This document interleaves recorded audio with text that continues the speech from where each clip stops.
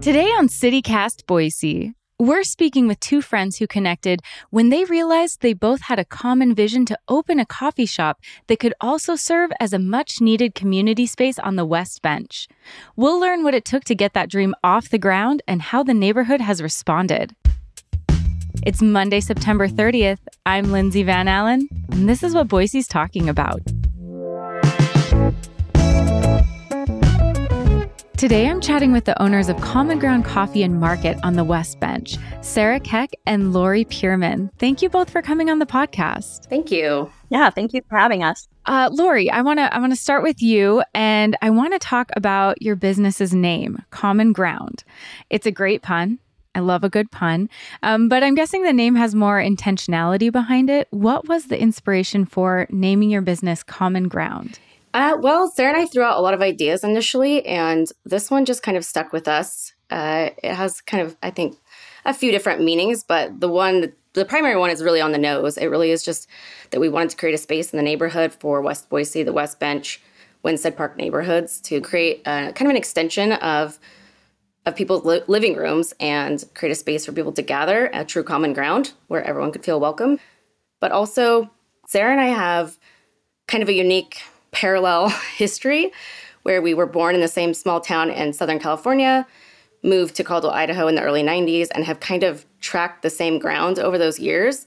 So even we have sort of a shared common ground. So, and Sarah, what's your vision for Common Ground? Our vision for the coffee shop was really um, kind of like a field of dreams thing. Like uh, our community is full of diverse and really you know, a cool demographic of people. And we notice a lot of people like to hang out, but usually at each other's houses because there's just nowhere to go to gather. So, um, the West Bench and Winstead Park neighborhoods have a really, really neat identity and a really cool history, but not anywhere to kind of put that energy collectively. Um, so, a gathering space for the community to kind of uh, establish and revitalize itself and just, you know, be together. How did you end up meeting up and then deciding to open a coffee shop? Yeah, so we met at a friend's house um, doing like a 5K little, you know, run sometime close to Thanksgiving, aka a turkey trot. Um, and we, I, I was actually talking to Laurie's husband, Nick, and mentioned that this was, you know, a, a, vision of mine for the neighborhood and for myself, you know, to start a coffee shop and the specific building that I had my eye on. And he kind of was like, um, you need to talk to my wife right now and dragged Laurie over and was like, hey, Sarah, meet Laurie, Laurie, meet Sarah.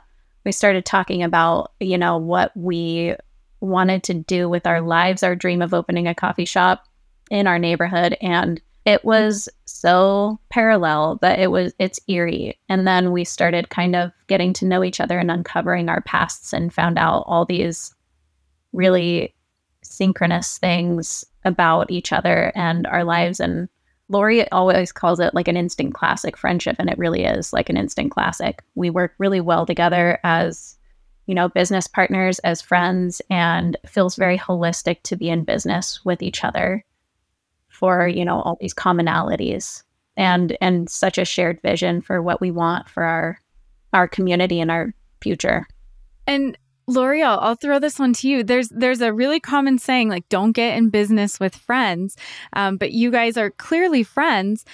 It, has that made the process easier, or maybe added different layers of challenges? I think it's different for us because we met with this shared vision out of the gate. We really formed a friendship with the goal that we had in mind to bring the neighborhood together and to pursue dreams that we had that happened to sync up so nicely.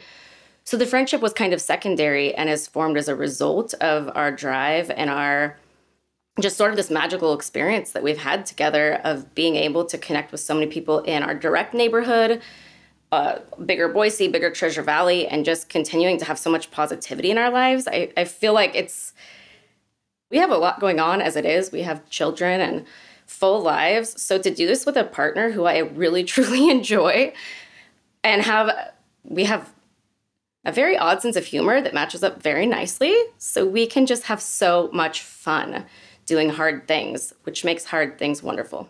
Now, you both chose a pretty, what used to be a pretty rundown building that needed extensive renovations on the West Bench as a location for your coffee shop.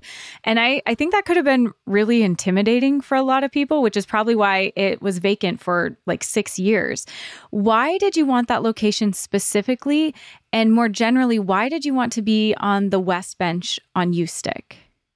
Well, um, to see our community as what it is and and the you know the people the people are vibrant. They're wonderful. They want to be together. And uh and then to look at these rundown decrepit buildings that no one is investing any time in in our immediate community was quite frankly absolutely maddening. That people were you know letting these places rot instead of using them to their full potential and so that was really great fuel for us to do those extensive renovations and to be motivated to really zero in on that spot.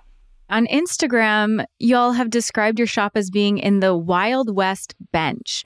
What does that mean? You know, I think um, Laurie and I both coming from Caldwell and the 2C region, um, and also further back from Bakersfield, we kind of mustered up all of that I would say it's a little bit.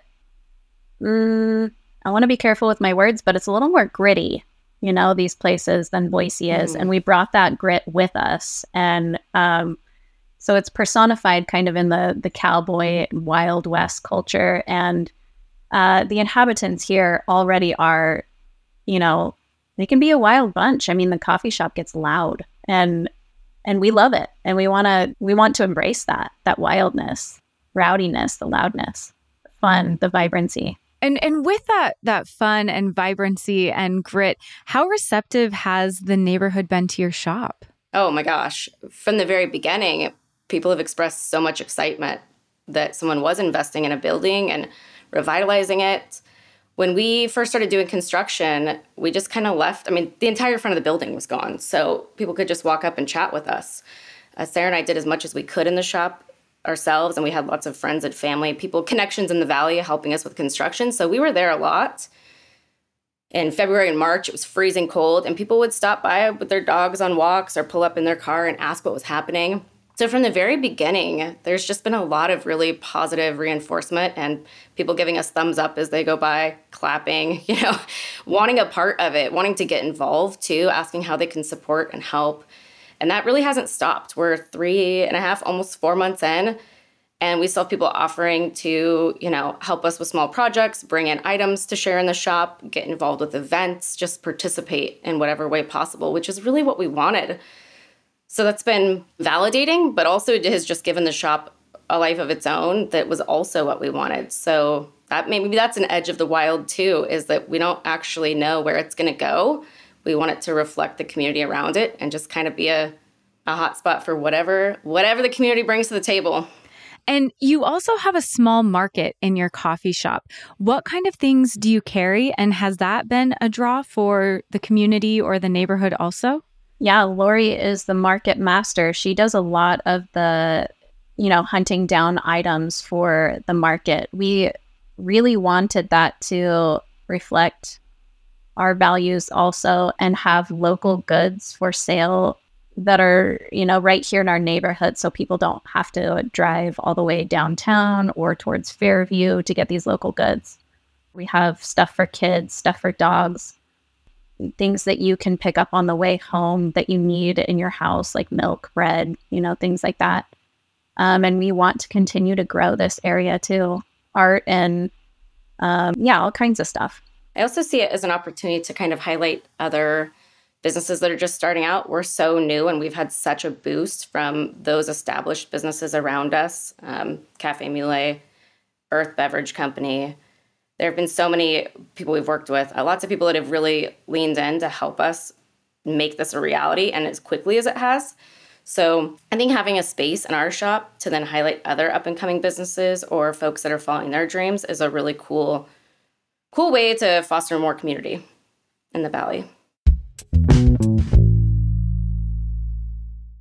We've talked a lot about third spaces in other CityCast episodes and have really come to the conclusion that Boise doesn't have a lot of places where people can gather and hang out with friends or get work done cheaply or for free. And this lack of third spaces can lead to community members feeling really isolated.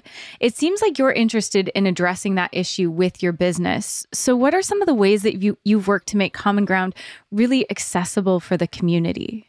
The, the easiest one for me, at least, out of the gate, is I have a four year old and a seven year old. Sarah also has kids, they're older, but we've been moms very recently in the age group that's kind of tough to take kids out in public.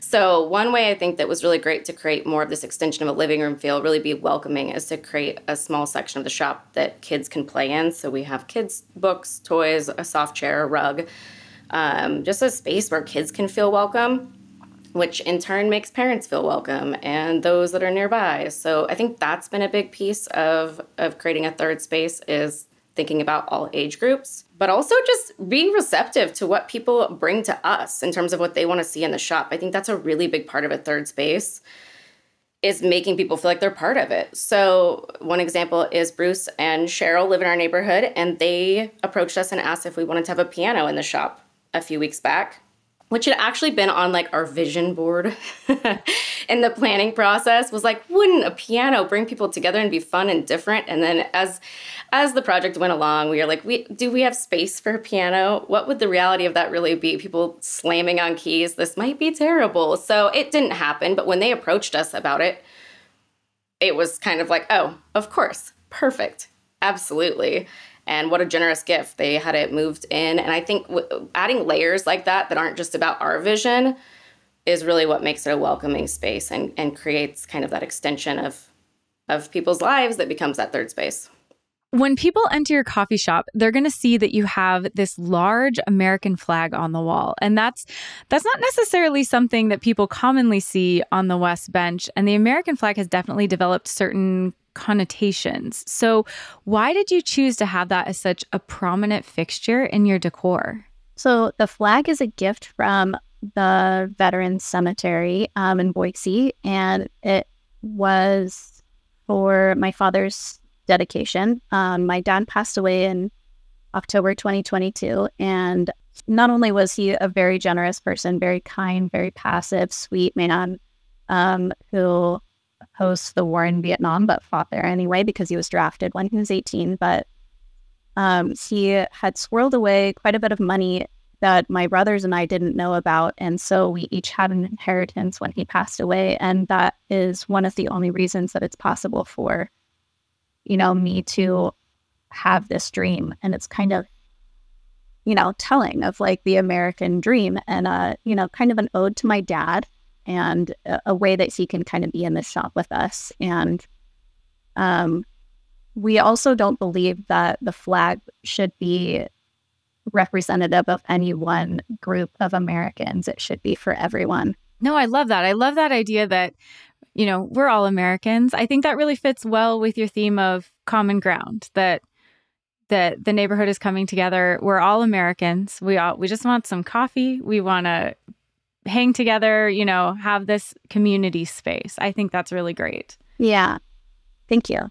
One thing that's really unique about your shop is that you offer activities I've never seen in a coffee shop, like trivia and bingo and a silent book club.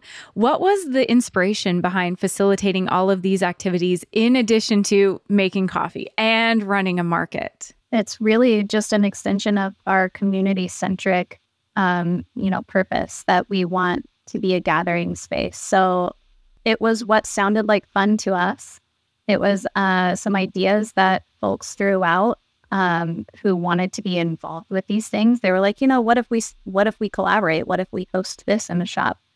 The shop is a physical space that should, you know, be used. So if there are ways that we can facilitate more fun community events, we want to. And we're open to other, you know, fun ideas. And you've been open for a little while, but you're having your official grand opening on October 5th. What do you have planned for that day? And, you know, what what time, what should people expect or what can they look forward to? Well, we have uh, Mayor McLean coming to cut a ribbon with us actually at 9 a.m. So that's kind of going to kick things off. But I think we'll open at our normal time of 8 a.m. Um, we've got live music, we've got food trucks, we've got arts and crafts of all kinds, and lots of local vendors throwing us cool ideas like Wana Matcha Tea, Earth Beverage. Um, all the people from Cafe Mule will be there. Uh, lots of local vendors that we sell the shop will attend. Um, yeah. So kind of an all day get together. We're thinking from 9 a.m. to somewhere around 6 30 p.m. All right. If you need your afternoon coffee pickup, you can still get it at Common Ground. Okay, I saved the hardest and maybe most controversial question for last. Um, what is each of your favorite drink that you're serving right now? I am so glad that you asked that. well, my favorite drink that we're serving right now is a maple matcha. It's a matcha tea latte made with Wana matcha tea and pure maple syrup.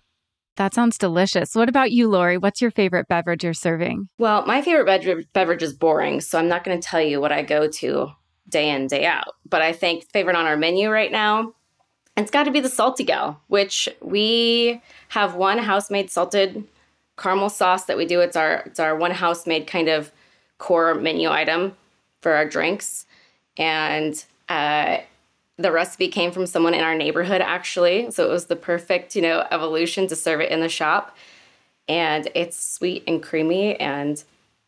It's really fun to make it and then yell out salty gal uh, when you pass it across the counter. that does sound really fun. Well, I think both of those sound delicious. We're going to have links in the show notes to your grand opening um, and where people can find out more information about that. Thank you both for joining me and you know explaining your vision and your dedication to your community with your business. This this has been really fun. Yeah, thank you, Lindsay. Yeah, thanks, Lindsay.